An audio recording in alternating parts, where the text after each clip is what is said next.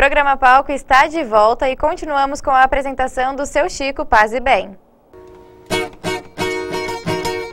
Seu Gervásio, se o doutor José aparecer por aqui, você dê esse bilhete a ele, viu? Pode ler, não tem segredo nenhum. Pode ler, seu Gervásio.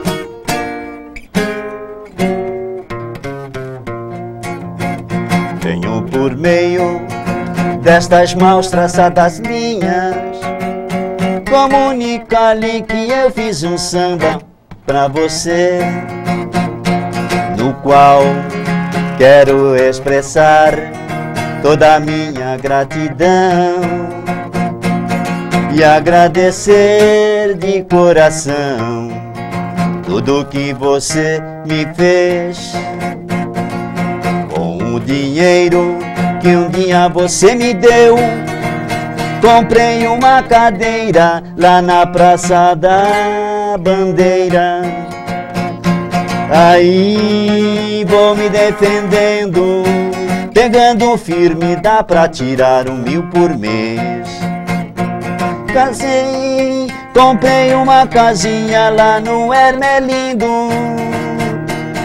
Tenho três filhos lindos, dois são meus, um de criação. Eu tinha mais coisas pra lhe contar, mas vou deixar pra uma outra ocasião. Não repare a letra, a letra de minha mulher. Me diverso meu endereço, apareça quando quiser. Laia, laia, la la laia, laia, laia, la la laia.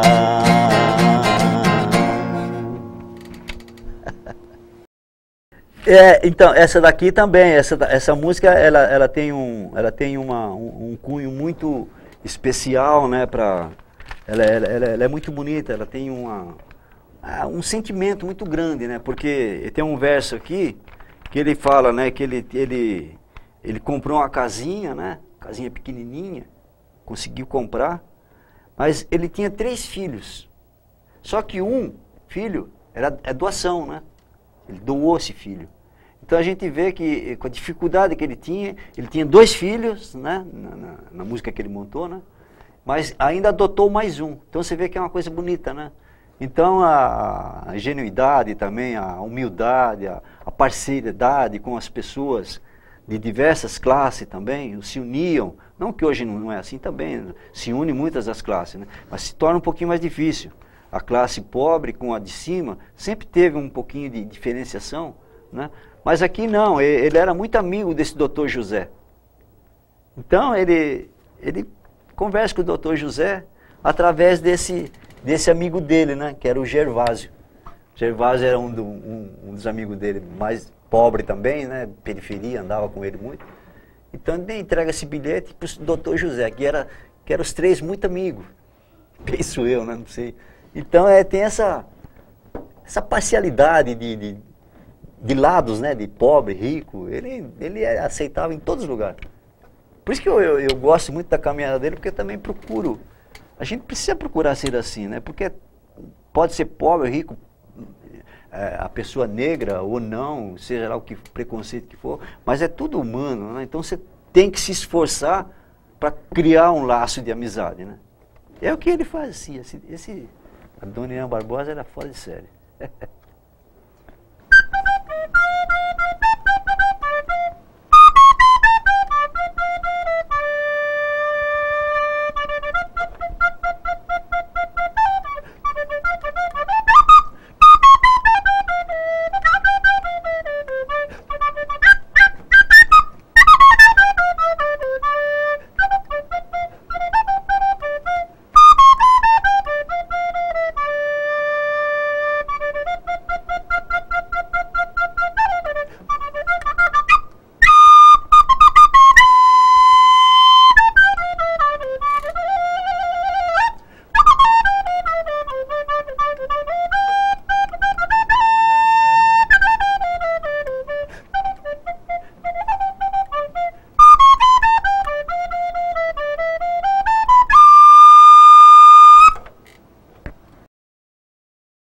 Ah, sim, então essa, essa música até eu fiz ela na. na eu estava contando pro, pro Douglas. Essa música era é muito interessante. Eu, a gente estava casado de novo e nós fomos para Santos. E apesar de eu ser morar bem encostadinho ao litoral, mas não era fácil para a gente que sempre foi pobre e está indo para Santos, difícil. Não que o acesso era difícil, eu não sei o que, que era, não era. Eu fui poucas vezes para Santos. Mas nessa primeira, uma da segunda vez que eu fui, eu fui de parado em pé assim, então a água vem, ela vem assim, depois volta a outra.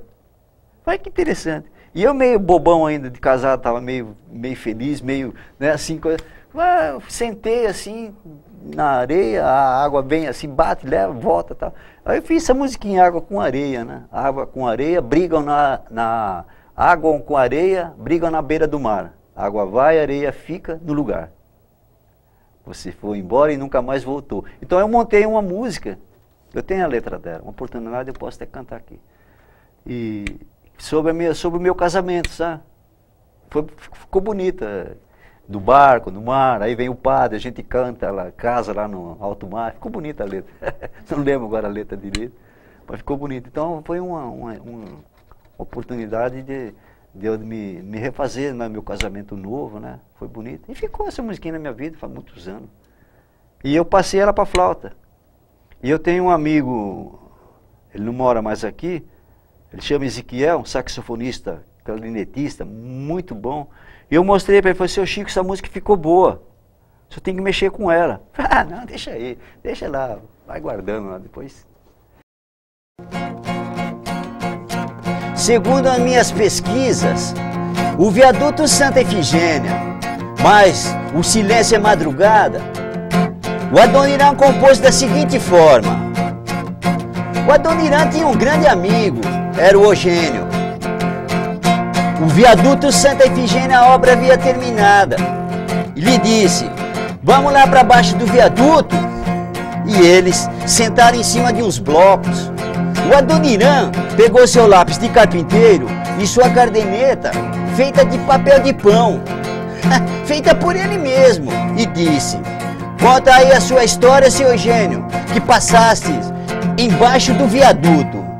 Olha, e eu nasci e eu vivi e eu conheci o meu primeiro amor. E foi contando, já tudo anotado, seguiram para a Casa Verde Alta, a convite do Anonirã, para almoçarem lá na venda do seu Manuel, que serviu oito pães e 350 gramas de mortadela e quatro penha-lapa. Com eles na mesa, o Vardi e o Laércio. com o tambor e o agogô. A venda tinha lá um violão. O tempo andou. Já de madrugada estavam prontas as duas músicas. Sensacional. Venha ver, venha ver Eugênio, como ficou bonito o viaduto Santa Efigênia venha ver. Foi aqui que você nasceu, foi aqui que você cresceu, foi aqui que você conheceu o teu primeiro amor. Eu me lembro que um dia você me disse que um dia aqui de mulice o viaduto de tristeza você usava luto Arrumava sua mudança Ia embora pro interior. Quero ficar ausente O que os olhos não vê O coração não sente. Venha ver silêncio É madrugada. Morro da Casa Verde a raça dorme em paz, dorme em paz. E lá embaixo, meus colegas de maloca, quando começa a samba não para mais silêncio. Bardi vai buscar o tambor. Laércio, Tajua Gogô. Morro da Casa Verde enfezou silêncio. Venha ver. Silêncio é madrugada.